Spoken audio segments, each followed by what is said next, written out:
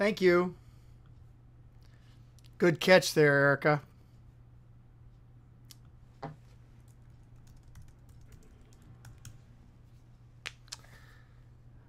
That's what you get for being Johnny come early.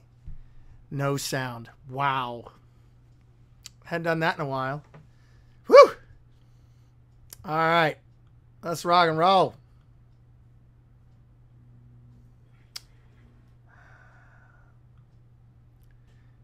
All right. So let's um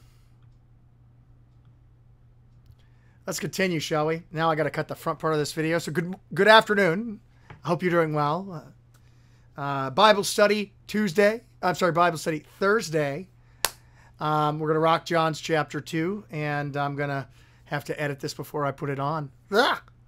Um, questions, comments, thoughts? Go ahead and put comments, um, and we'll uh, we'll deal with them in the order that we get them as best we can.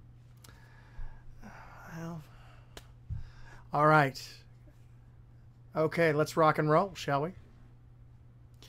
Um, I want to back up just a second to this verse right here, verse 12. Um, his mother and his brothers and his disciples. Um, you'll notice the text note says that it, that that uh, Delphoi is plural. It could be uh, sisters as well. Um, Luther um, also sort of comments on this, just a, a sort of a touch, that um, he believes that these that Adelphoi here is cousins, not um, not brothers. He believes that Mary remained a virgin, but that is neither here nor there. A little bit of of um, of fun from Luther. Fun with flags. Fun with Luther. It doesn't work. Laughing with Luther. That's better. All right, chapter uh, 2, verse 13. The Passover of the Jews was at hand, and Jesus went up to Jerusalem. Now we're in chapter 2, and we're about to have a story from Matthew 21. So, how does this work? Um, how does this? Um, how does the timing work on this? Um, is a good question. And Luther says, um, I don't know and I can't reconcile them. Um, but obviously, uh, obviously, John isn't putting together a, a, chronological gospel. This happens, and then this happens, and then this happens. Um, I think the key to understanding this is the Passover is near, and the and so um, the Passover is the anchor in John's gospel. Um, test me on it if you wish. Um, of some important events. And the, the Passover culminates with the Passover, which is Jesus's um, death on the cross. And so, um, uh, as you sort of um, work your way through this text, um, I wouldn't worry. It's not a big deal about what happens when. Obviously, the triumphant entry and the um, the the cleansing of the temple in every other gospel appears around the same time as the triumphant entry. They go in. He goes into Jerusalem and then he he cleanses the temple. Um, in John's gospel, it happens after his first miracle. Why? Why does he cho- choose to group those two things together? Well, because he is the Lamb of God who takes away the sin of the world. I think it's because of this very part right here. Um, the Passover was near. So what we've got is basically this is um,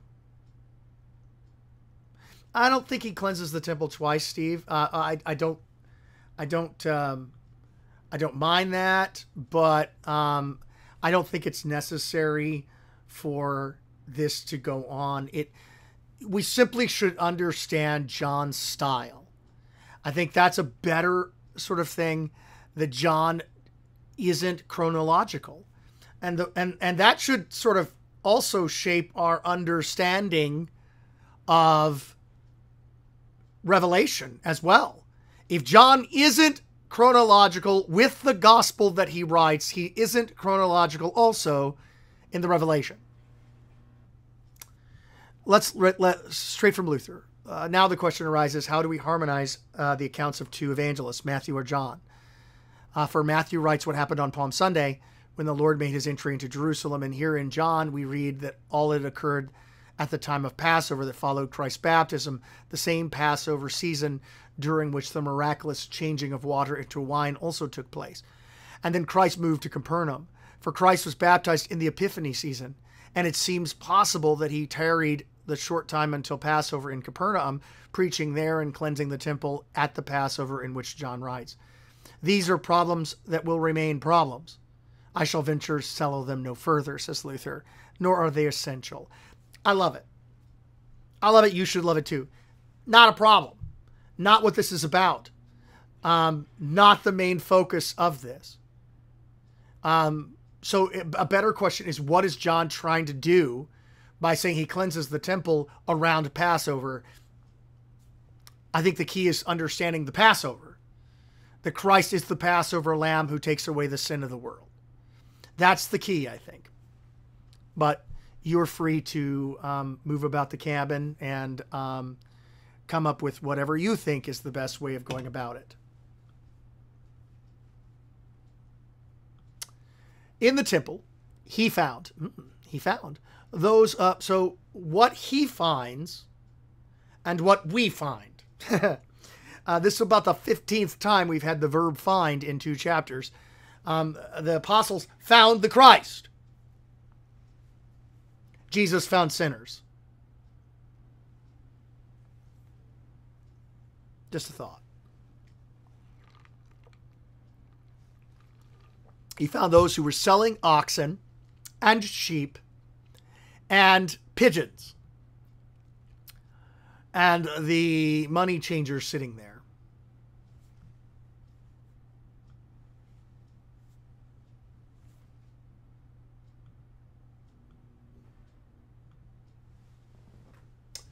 Uh, Thor is uh, sleeping in the um, in my chair over there.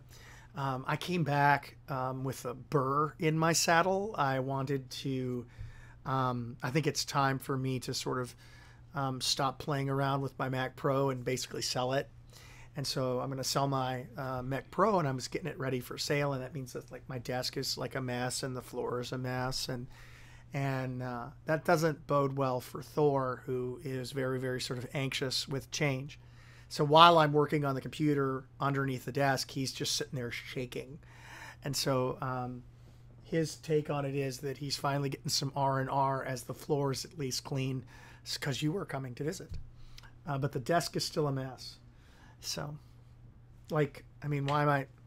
Why do I have a screwdriver over here? Well, I have a screwdriver over here because I'm cleaning the MacBook Pro up for sale. But anyway,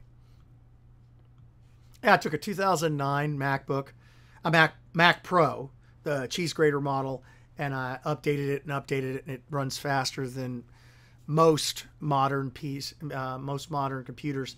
And so I'm, it's time for me to sort of sell that and move on. I wish more people had the humility to say that we really don't know. It would stop a lot of these false teachings. Exactly right. Um, um, I feel bad for me, send popcorn. Ah, I like that. And I like that too. I like them both. Uh, both uh, Thor and Steve's having a good day. Um, all right. Um, making a whip out of cords. He drove them out of the temple. He exorcised the temple. That's what he basically did. To drive out is to exorcise. I have exorcised the demon from um, from uh, uh, Ace Ventura. He drove them out of the temple with the sheep and the oxen. The only sheep, uh, sheep that is going to be sacrificed in that temple is the paschal lamb. Our paschal lamb that sets us free is sacrificed, oh keep. Easter hymn. Um, he drove them out of the temple with the sheep and the oxen. And he poured out the money changers and overturned the tables. So he, he turns the tables on them.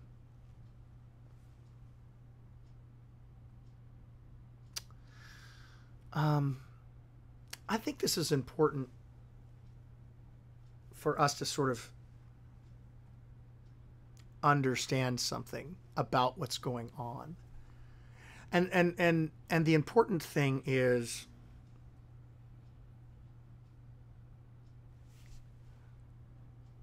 he's making the temple ready for his sacrifice.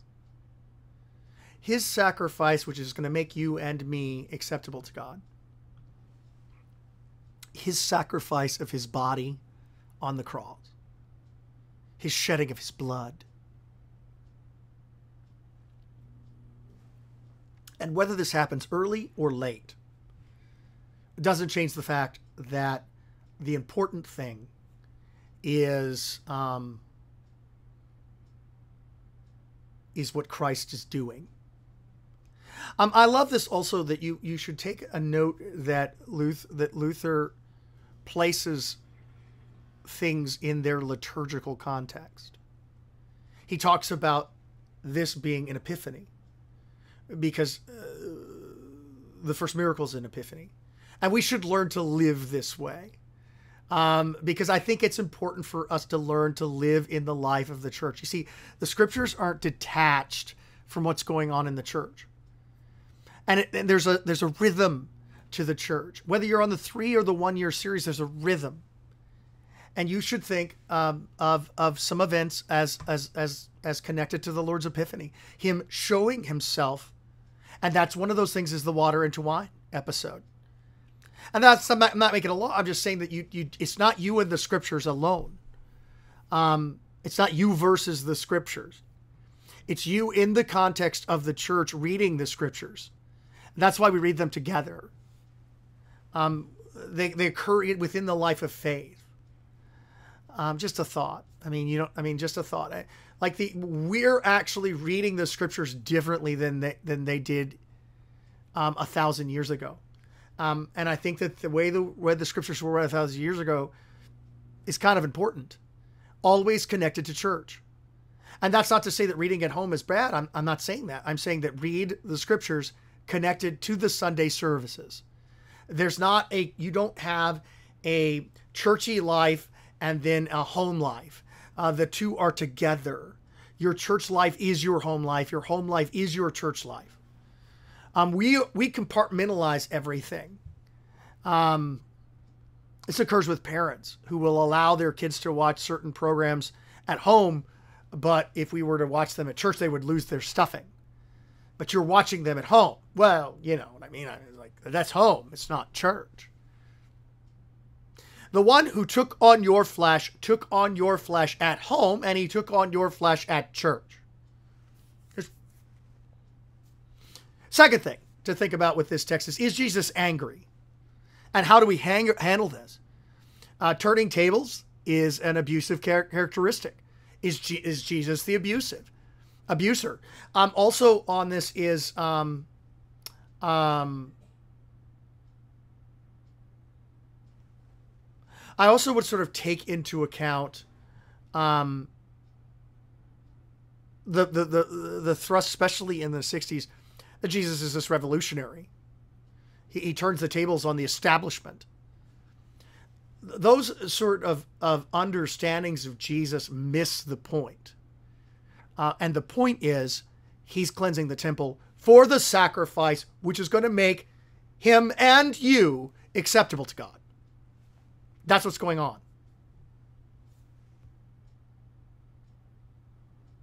That's what's going on.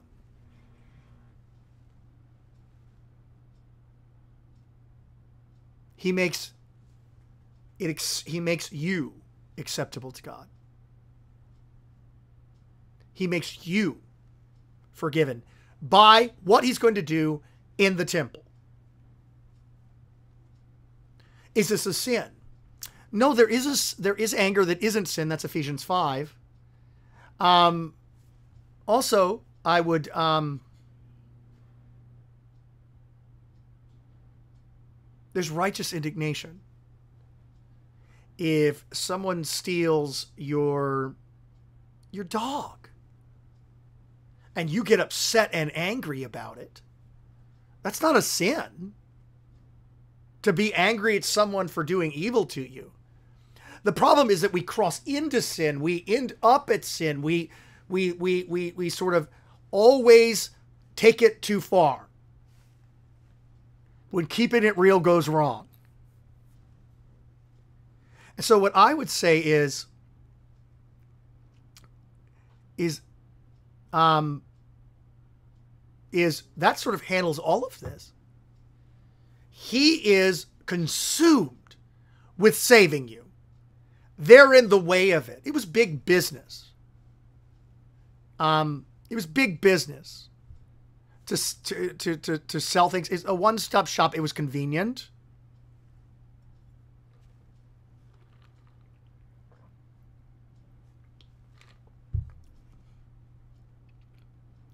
You could just go there and you could get all this stuff, except where they set up shop was in the court of the Gentiles, the place which, um, the place which God set aside for the sake of the Gentiles, for them to worship. And so this this business is getting away of God saving people. Oh no, no, no, no, no. Oh, no, no, no, no, no. No.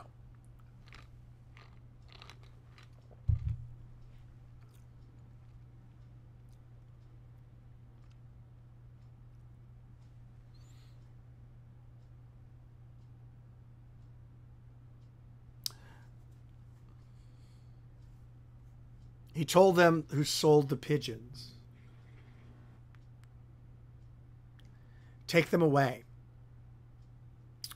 Um, don't make my father's house into a market house, a house of trade. We're at work. What's going on, buddy? Is there somebody in the in the um, office? We're working.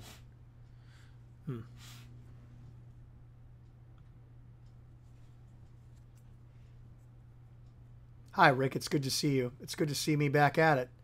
Um, I'm doing all right. Thanks for asking. Um, thanks for thanks for checking on me, Rick. Um,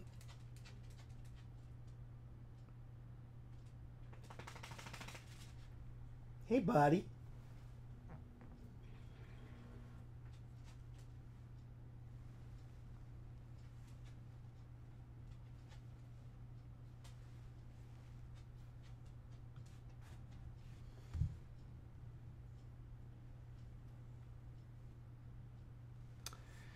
And there it goes. All right, so his disciples remembered that it was written, Zeal for his house will consume me, will consume me. Zeal, zeal for your house will consume me. So it's zeal for the Father it's you that this is about. Don't miss this. This isn't about Jesus as revolutionary, Jesus as as sort of crazy man. This is about Jesus saving you. Me too. This is about Christ, who he is, what he does, how he is. He's the God who saves. He's the God who saves.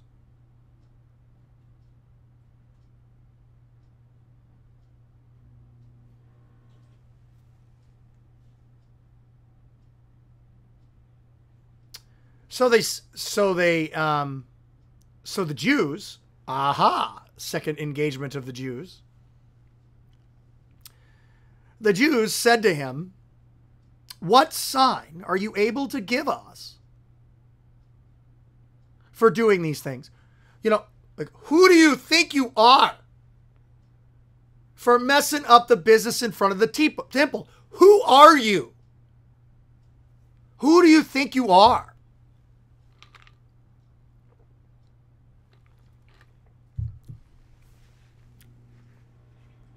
What sign do you do these things?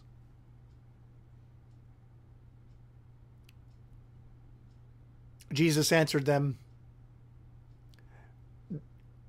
destroy the temple, this temple, and in three days I will raise it. Now, again, remember at the beginning of this chapter, we had the very, very odd on the third day of the feast. And I told you, there's no way that that's not a signal. And here, 19 verses later, we have another third day reference. Don't miss this.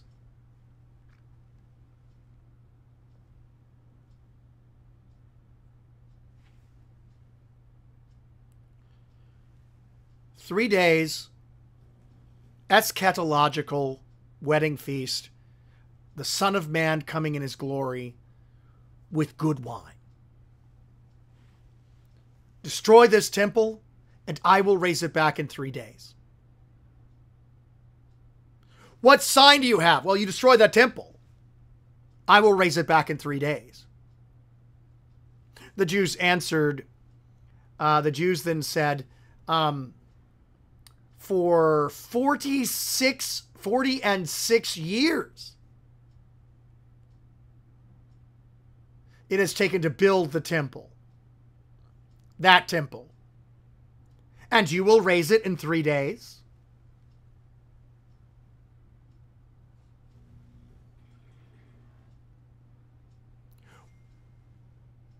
But he was speaking of the temple of his body. He was speaking of the temple of his body. His body broken for you, his blood shed for you. That's what he was talking about. The temple of his body. That's what this is all about. That's what this means. That's what's going on. Don't miss this. That's what was going on earlier, and that's what's going on now. Don't miss this. That's the important thing. That's why he cleanses the temple. He says why he does it. Destroy this temple and I will build it back in three days. It's like 46 years to build this temple. You're going to knock it down. You're going to build it back up again in three days. But he was speaking concerning the temple of his body, which will be broken on Passover with the lambs that are slain. It all connects together with John. Why is it here? Because of the temple. He's the Passover lamb. This is not about what happens when. This is about what this is all about for John.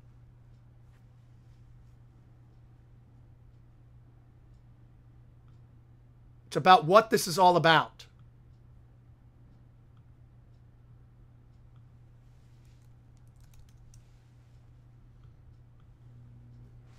That's what this is about.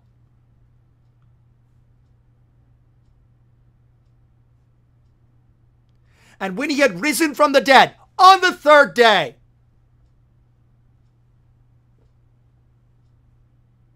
See, I can't get past it. Why do we, why is it always about Jesus? Because it's always about Jesus. Why are you stuck on the cross of Christ? Because Jesus is stuck on the cross of Christ. Why are you consumed with the death and resurrection of Christ? It, it, it, it's, it's, it's all we ever hear. Yes, yes, yes. Jesus died. Jesus rose again. Because Jesus is consumed about it. Are you reading this book with me? That's what it's all about. It's not about the hokey pokey. It's about his body broken on the cross, raised from the dead on the third day.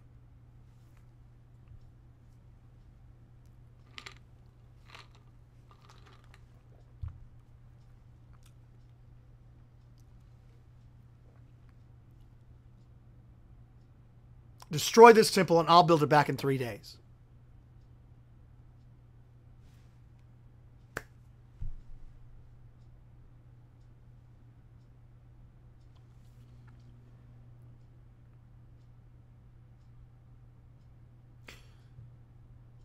We preach Christ and Him crucified because that's what we're called to preach. Nothing wrong with you uh, kicking alcoholism. Nothing wrong with how to have your best life. Nothing wrong with you being success, successful. I personally am one of the most positive people that you'll ever meet, but that doesn't save. It just means I'm fun in a pinch. What saves is destroy this temple and I will build it back in three days. That's what saves.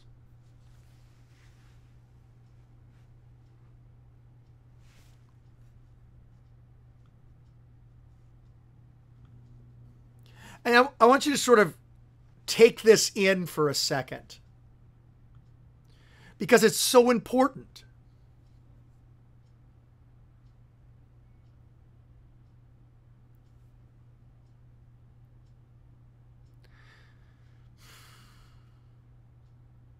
Without this, we have no preaching.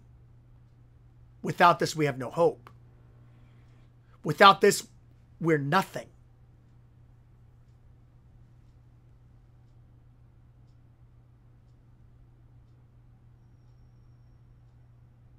But with this, even you and I are saved. With this, we have a reason to get out of bed in the morning. With this, coronavirus isn't going to kill us. With this, um, take there goods, fame, child, and wife, these all be gone. The victory won. The kingdom ours remaineth. Because of Jesus. Because of his suffering and death.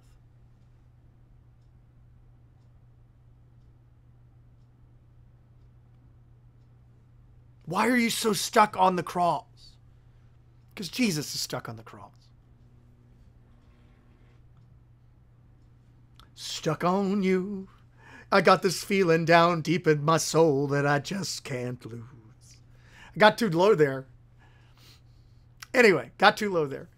Um, when he had raised from the dead, his disciples remembered that he had spoken this, and they believed the scriptures and the word that Jesus had spoken.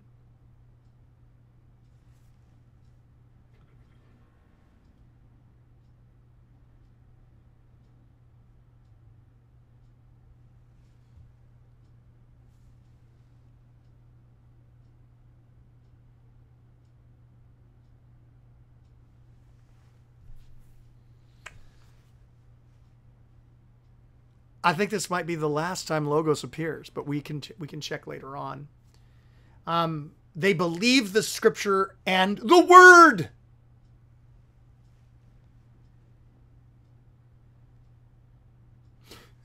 John chapter 20, they don't believe yet. John chapter 20, Mary Magdalene will grab Peter and John. They'll go to the tomb, they'll see the tomb empty, and they'll go home. And John will say, because we did not believe that we did not know the scripture that he was to raise from the dead. They believed him to be dead. This gives you the end end. They're going to they're going to get a clue. They don't understand it right now and that's what's so important about this as well. How real is this? They don't know what's going on. But we know there's no denying it. He's the Christ. He's the Son of God. He's the Son of Man. He's the Lamb of God who takes away the sin of the world. He is the Paschal Lamb. It's right there. And when he raises from the dead on the third day, when he weddings at Cana's it,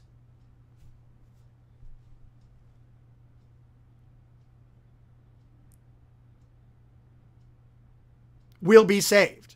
He was crucified for our sins. He was raised for our justification before the Father.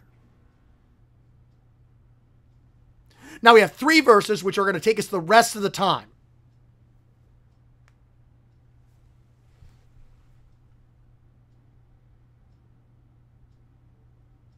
Because these three verses appear on Holy Monday and they're the worst law of all time. Because they cut to the heart of who we are and what we're really about.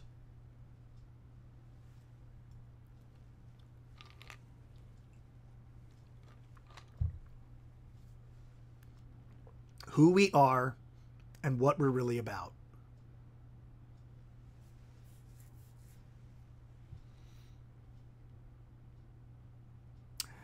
Now, when he was in Jerusalem, Jerusalem for the Passover, a lot of Passover in two chapters. Paschal. Into Paschal. Why is he the Paschal lamb? He's the Passover lamb. Paschal, Passover. Many believed in his name, seeing the signs which he did. So, already in chapter 2, many believed the signs that he did. It's right there in the text. Even some from the Pharisees do. I'm sorry. This isn't in. Um, this isn't in Holy Week. This is, um, but it is in Lent. So, how does Jesus handle this popularity? How does he handle likes on Facebook?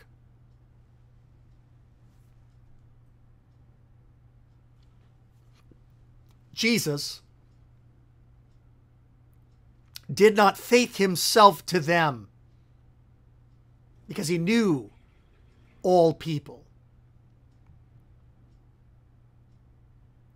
and needed nothing to bear witness concerning men for he knew what was inside of man.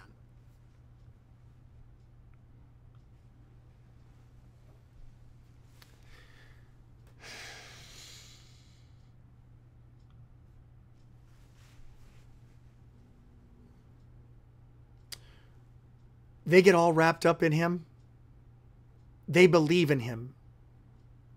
He does not believe himself to them. Same word. They faith him. He doesn't faith them. He doesn't put his trust in them. His popularity, their excitement concerning him, how great he is, how wonderful he is, how his YouTube videos are at the top of the charts. He doesn't entrust himself to them. See if I can show you this. It's the same word. Many believed.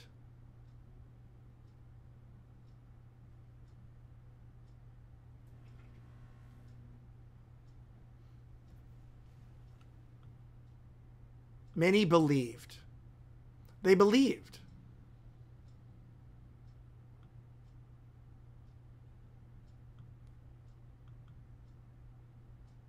They believed. See the same word? This is the same word as this. I'll highlight it for you. There it is.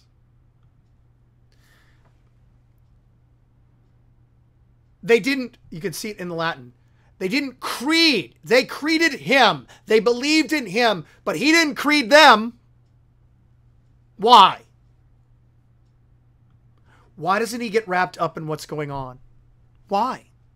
What does this say about us? What does it say that he knows what's going on in men? He doesn't need to have a. He doesn't need somebody to testify concerning it.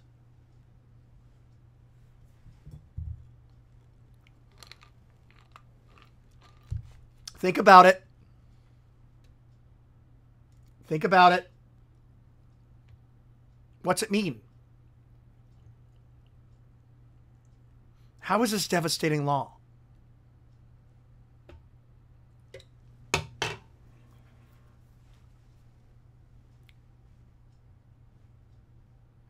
They aren't trustworthy. We aren't trustworthy. In the course of human events, God has had many times people say the sentence, I'm totally on your side. I commit myself to you. I have decided to follow you. I found you. He goes and finds them, and then they say, "We, I found you. Look, look, I get the credit for having found you. Where are you, God? Are you lost? Can I rescue you?"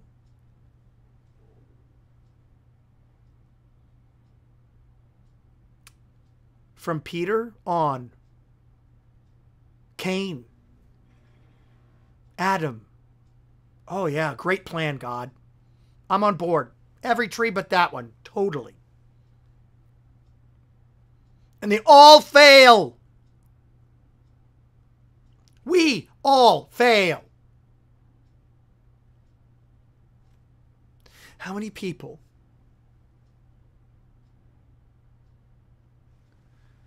have made commitments to God, made pledges to God, made vows to God, only to break them the same day?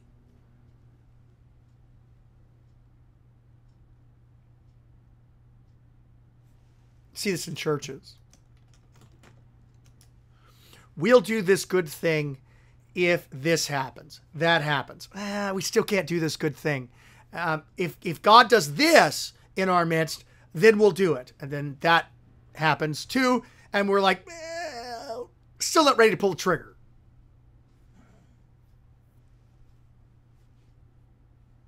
He knows what's going on in you, and it ain't good. It ain't pretty. He knows your sin. He knows your death.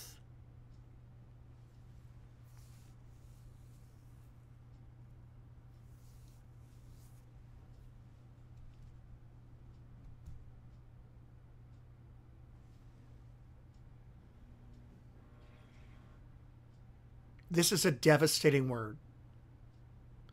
They believe in him. He doesn't trust himself over to them. And he doesn't need someone to tell him what's going on with men.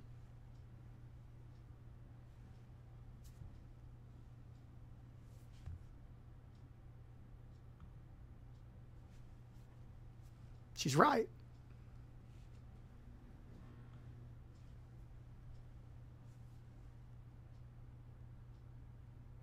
He knows what's going on with you. There simply isn't a reason for you to make promises to him. He knows you're not going to keep them. And for such promise breakers who confess their sins, their salvation, don't waste his time with how much you're committed to him, how much you're going to do for him, how you're going to build the temple for him, how you're committed to God, and how you've done all the stuff that you've done. And no, no, no.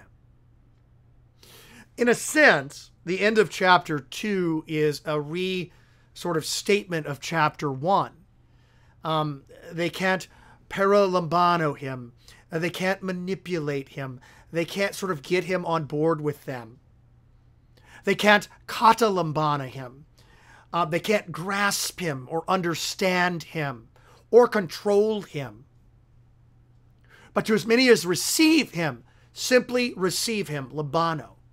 He gives the right, he gives the authority, he gives the uh, uh, power to be children of God. Children born not of the will of decision that they made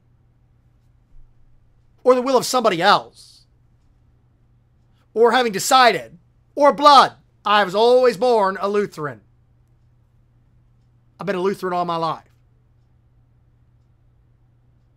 But born of God. Born of God. What a devastating commentary on the situation of mankind that we love God and He doesn't trust us. And he's right. He just cleansed the temple. But we love you, God.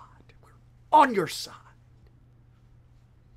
In a sense, we're all really like um like uh like the sleazy salesman in Die Hard who um attempts to negotiate with the terrorist because you know he makes world deals and all that jazz haven't seen Die Hard. It's my one of my favorite Christmas movies.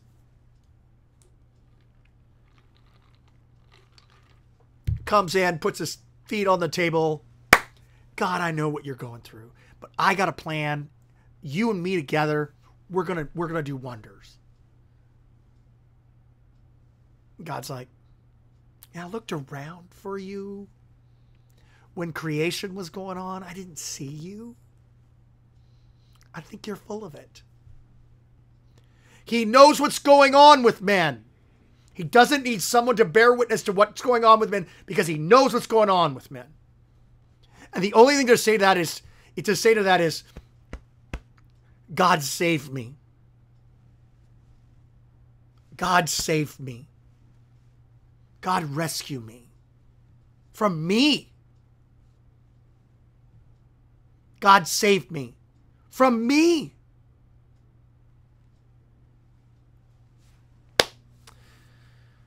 I want you to go to support.higherthings.org today and I want you to give. Higher Things is doing a great job of providing you content in this pandemic. Parents, pastors, grandparents, all to resource young people. It's for them, but we get to come along too as we get instructed on how to teach them the faith. And if you care about the passing on of the faith to the next generation, like we care about the passing on the faith to the next generation, give today. Your tax deductible gift keeps us and the work that we're doing.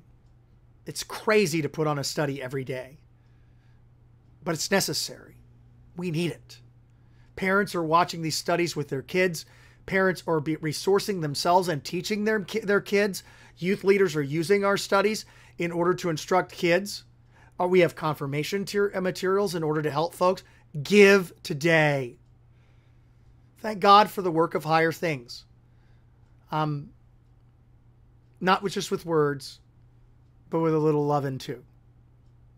Tomorrow, chapter three. Were you born again? Or is something else going on there? Have a blessed day. I'm so glad to be amongst you. So glad to be back in my office. And I can't wait to get this thing cleaned up so that we can uh, continue our studies together. Rick, I, am sorry, man. Got to watch that. Uh, tell, tell Pastor said you, you have to do some research for Bible study. Have a great day. Have a great day. We'll see you soon.